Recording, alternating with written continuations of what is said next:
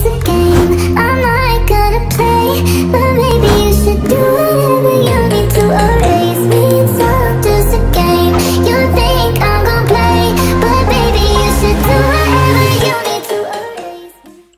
semuanya, kembali lagi di channel Simplay dengan saya Alex di sini dan di video kali ini saya akan mereview sebuah produk Phantom Power Top Studio RU by P48V. Bagi Anda yang belum tahu, saya akan jelaskan dan tampilkan foto-fotonya adalah sebagai berikut.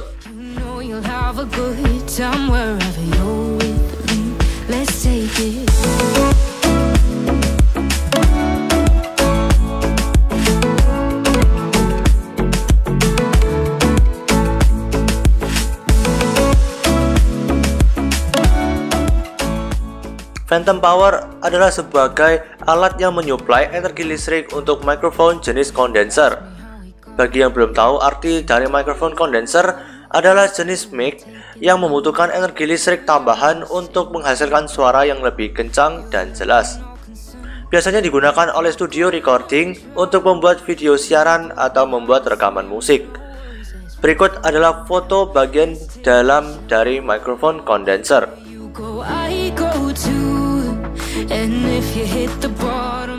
Salah satu contoh mic condenser yang saya pakai adalah Tafware BM800.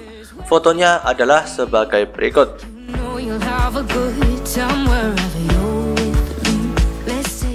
Mic Tafware BM800 ini saya pasangkan dengan Phantom Power TAF Studio RUP48V.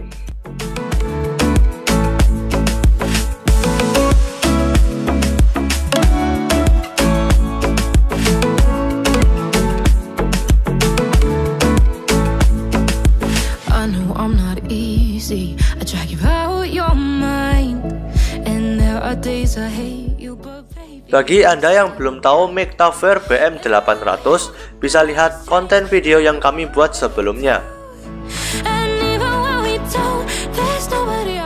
Selanjutnya, tutorial cara pakai Phantom Power TAF Studio RU P48V adalah sebagai berikut.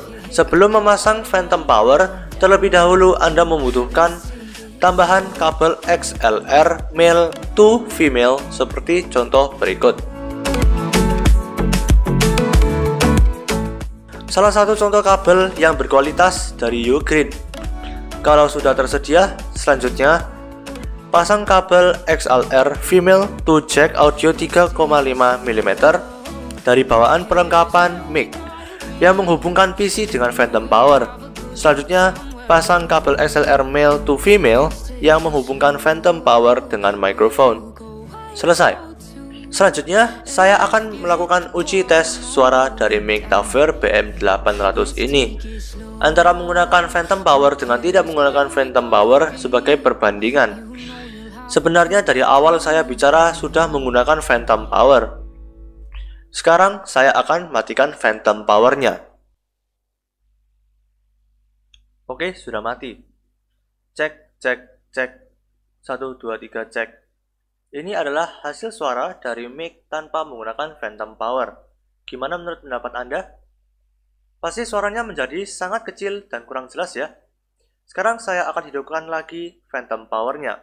Oke, sudah hidup. Cek, cek, cek.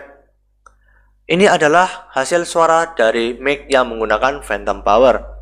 Sekarang suaranya sudah kembali menjadi lebih besar, jelas, dan detail. Kelebihan lain menggunakan Phantom Power ini adalah suara noise dan acoustic echo eh, menjadi banyak berkurang. Alasannya, pada saat suara mic condenser menjadi pelan karena tidak menggunakan phantom power, maka setting volume mic harus di booster tinggi atau level eh, gainnya dinaikkan tinggi. Hal itulah yang menyebabkan sensitivitas suara menjadi berlebihan, sehingga memunculkan suara noise dan acoustic echo yang mengganggu. Kalau sudah menggunakan phantom power, maka setting mic level gain atau boosternya dapat dimatikan. Selanjutnya, sebagai tambahan informasi, perlu Anda ketahui perbedaan nama brand Tafware dan Taf Studio. Taf Studio adalah sub-brand dari Tafware. Dengan kata lain, Taf Studio adalah nama baru untuk kategori produk audio dan fotografi.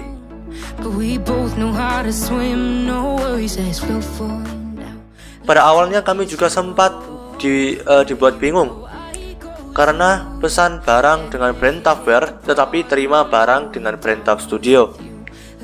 Kami sempat mengira dikasih barang KW.